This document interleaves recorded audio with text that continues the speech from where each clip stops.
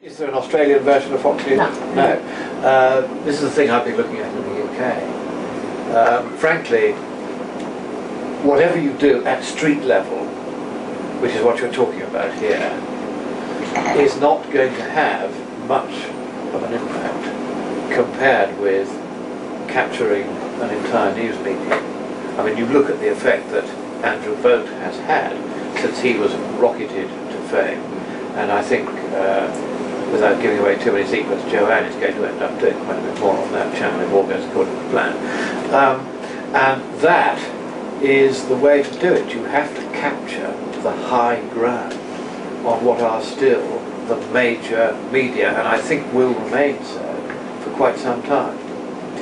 And until we crack that one, both in the UK and in Australia, we're going to suffer from a disadvantage over against uh, the more uh, libertarian-minded, right-thinking people in the United States who have got Fox News and have therefore got things like the Tea Party movement, have therefore, at last, put some lead into the pencil of the Republican Party.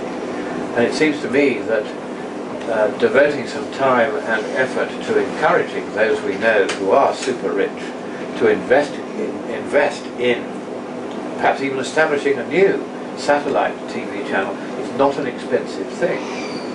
Uh, and then get a few Jo Novas and Andrew Bolts to go on and do the commentating every day, but keep the news straight and fair and balanced as they do on Fox.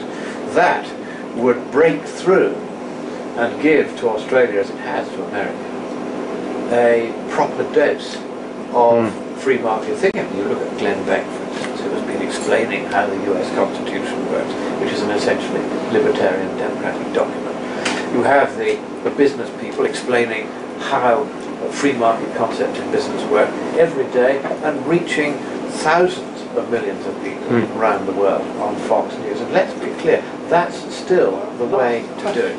That, uh, uh, I, I would like to suggest a modest free market solution to the problem we've identified this evening, which is that we don't have a TV channel to our own.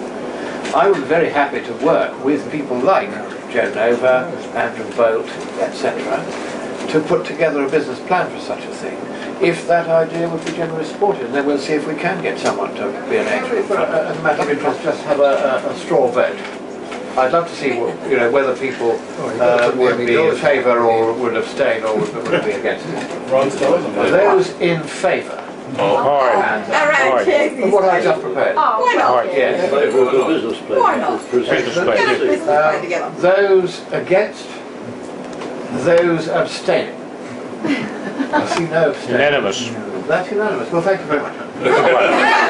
That's going to be the idea we're going to take away and develop and uh, work on, Ron? Is that a nod?